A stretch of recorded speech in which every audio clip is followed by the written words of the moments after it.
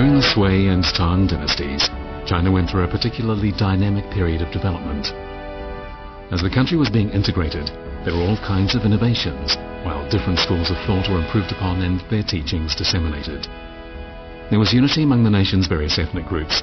There was great stability throughout the country, and there was peace between China and foreign countries.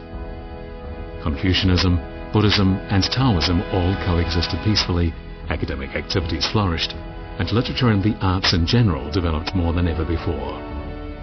It was a time of self-confidence in China, a time of inclusion and innovation. All in all, it was a brilliant era in the history of Chinese civilization.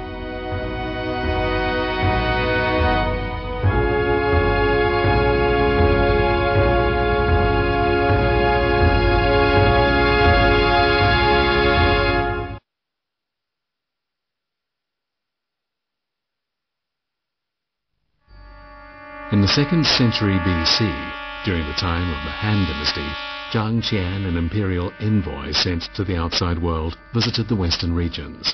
And afterwards, the Han Dynasty integrated the transportation routes in the western regions and connected them with routes that led to Persia and Rome. It was this that resulted in the formation of the famous Silk Road. After the Silk Road was opened, the civilizations of ancient Egypt, of the valleys of the Euphrates and Tigris rivers, of India, and of course China from the Han dynasty through to the Tang dynasty were linked by trade. As a result, during the Tang dynasty, the Silk Road led to the dynamic development of cultural exchanges between China and foreign countries.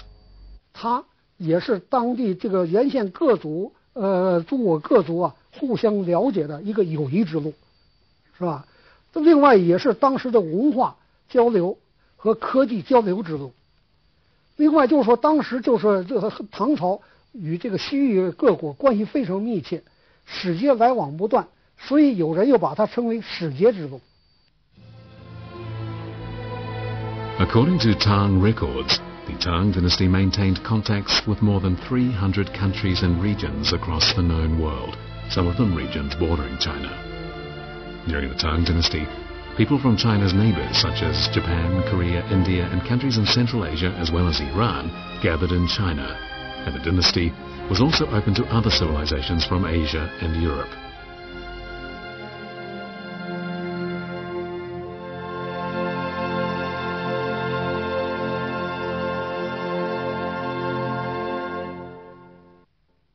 “在唐朝中央有很多外国人在这里做官，那 日本人、韩国人，还有中亚的，现在属于中亚的那些五国的那地方人都唐朝做官，从文官到武官都有，啊，都是这个是一种非常博大的情怀。这外来文化也是这样，唐朝有很多呢外国的那些这个寺院，就是适合外国人的，比如说中亚的仙教啊、摩尼教啊、景教啊等等，包括伊斯兰教，哎，他们都可以在中国建寺院，保持他们信仰。The Tang dynasty respected all foreign religions, and it was in fact during this dynasty that Christianity was introduced into China. This tablet on the development of Nestorianism in China is about how this religion of the Eastern Roman Empire developed during the Tang dynasty.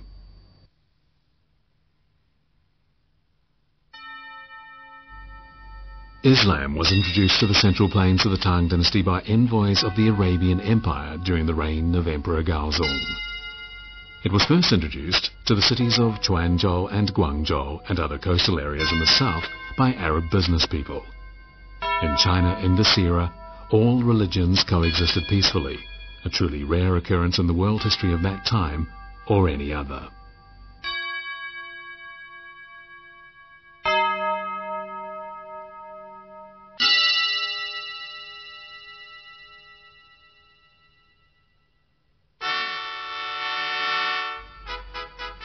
During the Tang dynasty, China embraced the world.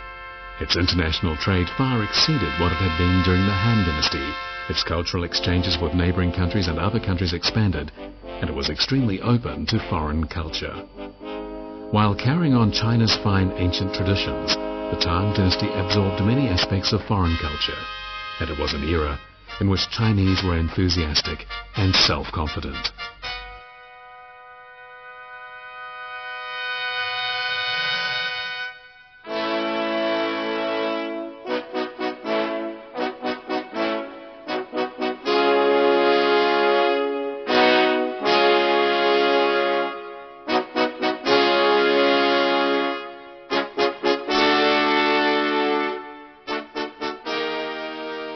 当时的长安城的人口能达到一百万，当时的外国人来到长安的就能达到十万人。呃，像现在朝鲜半岛当时的新罗和现在在日本的，当时都多次派呃遣唐使。到唐朝来学习先进的文化，而且把这种先进的文化带回呃日本，促进了当时日本的社会发展。The imperial family of the Tang dynasty had been a military family in northwest China for generations. After bringing the Central Plains under its control, the family hoped to promote culture there and serve as a cultural and ethical model. The imperial family regarded Lao Tzu, whose surname was Li as was theirs, as their forebear and made his religion, Taoism, the national religion. Lao Tzu advocated harmony between people and nature, and this was in accord with the policies of the first rulers of the Tang dynasty. It is also reflected in their willingness to promote harmony, flexibility, and rule by virtue. As a result, Taoism, which served as the foundation of traditional Chinese culture, was quickly disseminated. Wu Zetian, who was accepting of all religions, put an end to the emphasis placed on Taoism by the first rulers of the Tang dynasty, this greatly benefited Buddhism. As a result of her policy, Buddhism developed quickly during the Tang dynasty. Famen Temple in Fufeng County, Shaanxi Province witnessed the unprecedented development of Buddhism in the Tang dynasty. In 1987, archaeologists reopened the underground palace of Famen Temple after it had been sealed for more than 1,000 years. When they excavated a set of nesting pagodas, they found that the small innermost pagoda was made of solid gold. When the archaeologists opened the pagoda, they were surprised to find within a finger bone of Shakyamuni, the founder of Buddhism. Famen Temple was built during the period of the Eastern Han Dynasty, at which time it was known as Eyuan Temple. The temple is 1,700 years old, older than any other temple in the central Shaanxi plain. Also excavated from the underground palace of Famen Temple was this 13-piece tea set used by Tang Emperor Xizong. This noble imperial tea set suggests that drinking tea was regarded as a great luxury. China is, of course, the home of tea, but although tea was being produced well before the Tang dynasty, drinking tea didn't become common until during that dynasty. The book The Tea Ceremony was written by Lu Yu in the 8th century during the reign of Tang Emperor Dezong, and it is still widely read today. From it, we can see that the quality of life enjoyed by Chinese people improved considerably during the Tang dynasty.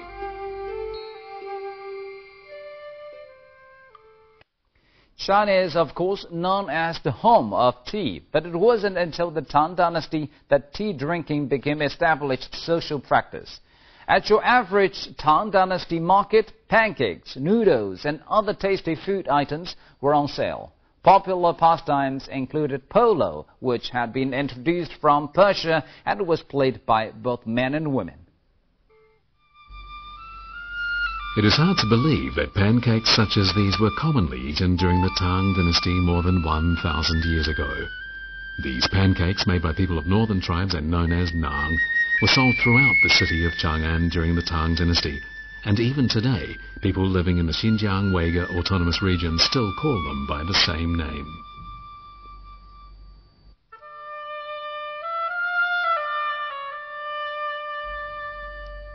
During the Han Dynasty, wheat was not regarded as fine food, but during the Tang Dynasty, wheat grinding techniques were introduced to China from Central Asia, and with this, the Chinese invented noodles.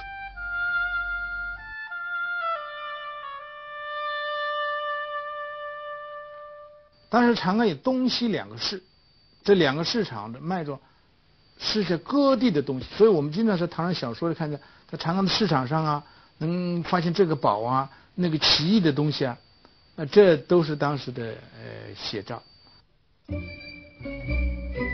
At Chang'an's east and west markets, in open areas in the city and in designated theaters, Chinese and foreign artists presented operas and other types of entertainment.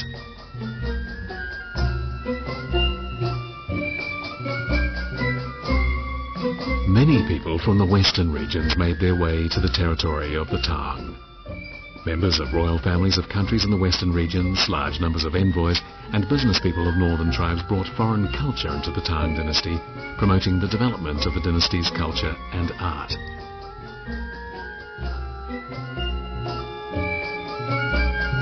Fashionable women liked to show off their unique clothing and hairstyles. Popular pastime for both men and women was polo, which had been introduced from Persia.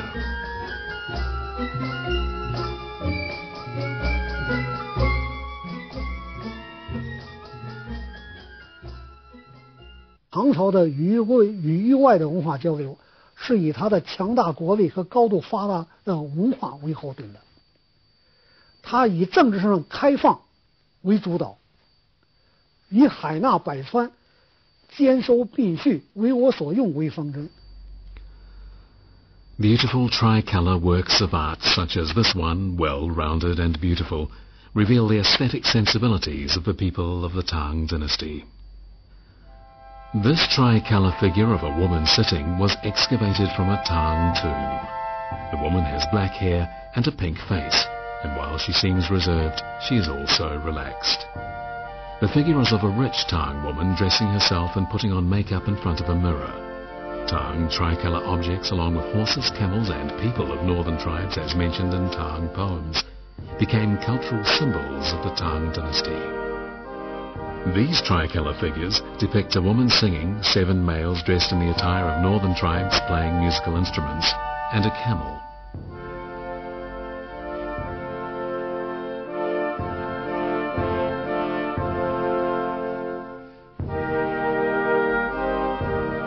On the coffin in Wangjian Mausoleum are these stone sculptures of performing artists. Included are almost all the musical instruments in use in China more than a thousand years ago. Wang was the emperor of the kingdom of Jianshu, a kingdom founded in the later years of the Tang dynasty. According to history books, when musicians performed Qin King fighting a battle, they beat drums, played jiaozi music, and made a truly deafening sound. The Tang dynasty not only integrated and improved traditional Chinese music, but also absorbed aspects of ethnic minority and foreign music. In fact, among ten pieces of music frequently performed for the Tang imperial family, four were from ethnic minorities and four from foreign countries.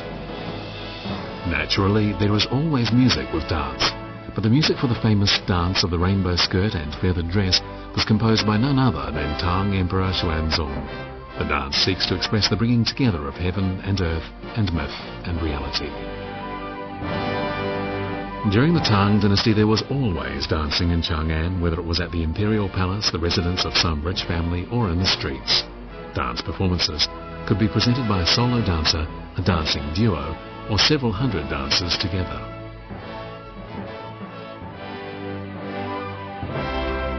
Dunhuang frescoes include many depictions of Tang dance performances.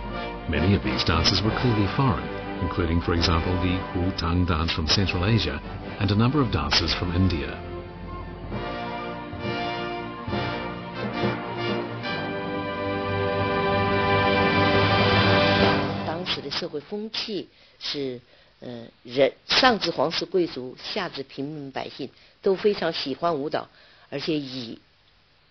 会，武善武为荣，唐代的这种嗯强大的这个非常强盛的国势，还有这种恢宏的气度，它是西拿百川，一手伸向传统，一手伸向民间啊，有这么大量的专业的队伍的这个歌舞艺人呢，就共同把这个唐代舞蹈推向了历史的高潮。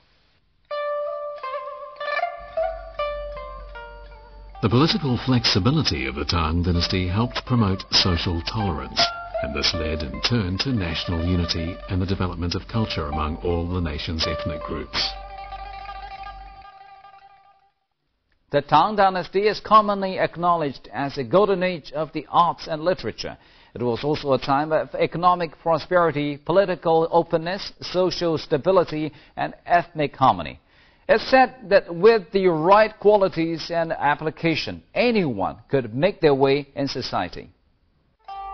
The rulers of the Tang dynasty did not discriminate against any ethnic groups. All were treated in the same way.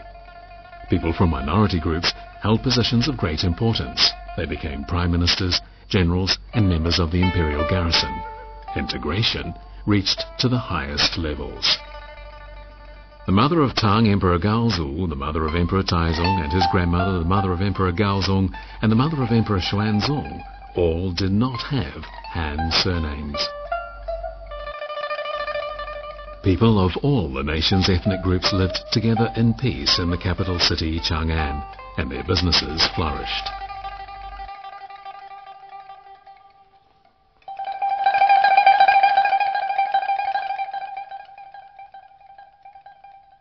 唐太宗在处理民族关系上也是非常成功的。他有名就是话就是，他说自古啊，皆贵中华，见夷地，真独视之如意。哎，故其种落啊，皆宜真如父母。这是什么意思呢？他的过去的帝王啊，都有点大汉族主义啊，对少数民族啊，这个呃爱抚不够。我呢，胡汉一家。我采取胡汉一家的政策，所以他们呢，呃，都非常拥戴我。那个西北各地的那些少数民族这个部落啊，都纷纷尊太宗为天可汗啊。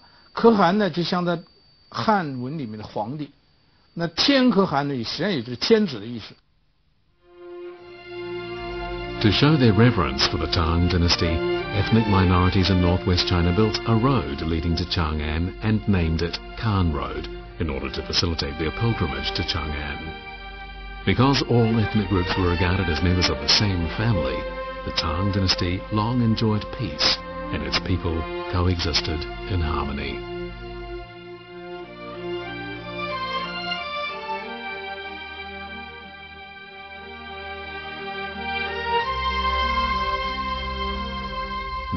Integration of the Han majority and ethnic minorities promoted the development of ethnic minorities and accelerated the development of the Han people at the same time. The cultural resources of all were improved and absorbed, adding to the glory of Tang culture as a whole.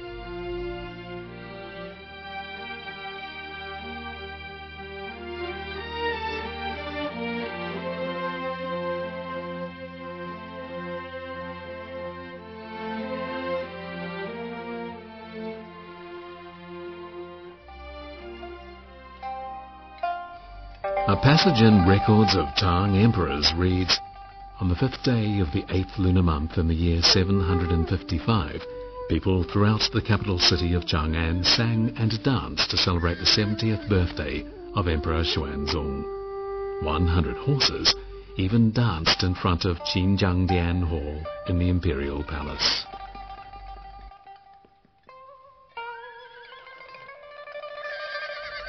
The passage tells us that the horses danced to music known as Qingbei melody, and that when this music ended, the horses, holding cups in their mouths, knelt to wish the emperor long life. After watching the horse dance, Prime Minister Zhang Yue wrote a poem about it. But did they really have dancing horses in the Tang dynasty?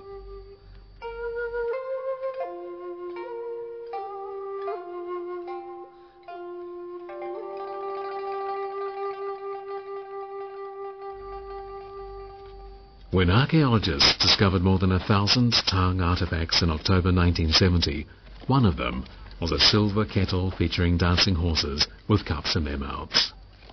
The depiction on the silver kettle is in complete accord with what appears in the historical record.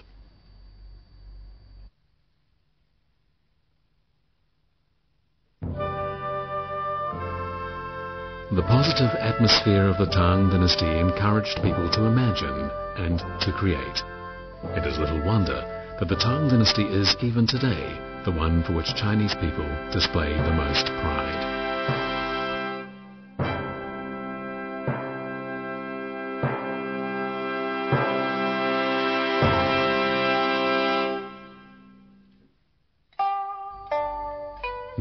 Dynasty was also a paradise for poets such as Li Bai and Du Fu. Today, over 900 poems by Li Bai are available.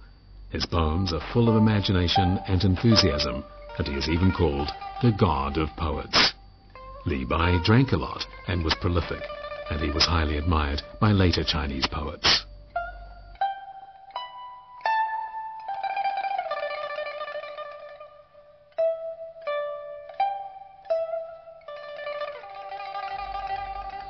Unlike Li Bai, who was rather militant yet carefree, Du Fu, who was called the poet sage, paid great attention to the life of the people.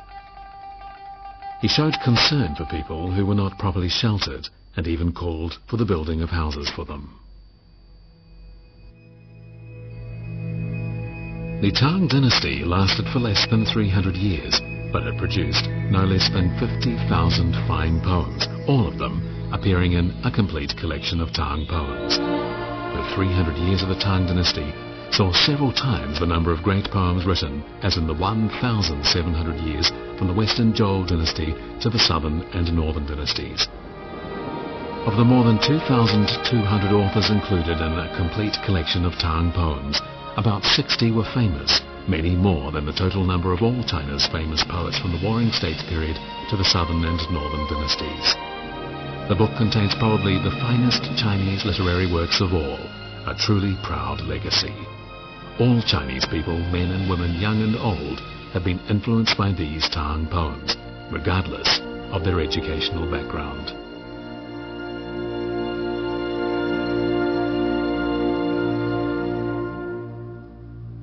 唐朝是一个这个可以说是一个古代少有的一个和谐社会的一个啊盛世， 呃，出现像李白呀、杜甫啊这样一些伟大的诗人，也跟那个时代有关系的。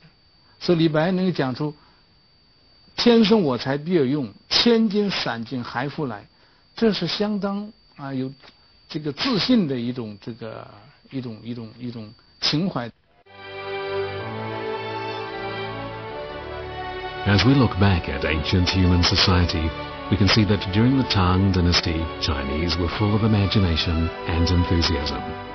It was an era in which everyone was doing well, an era of self-confidence.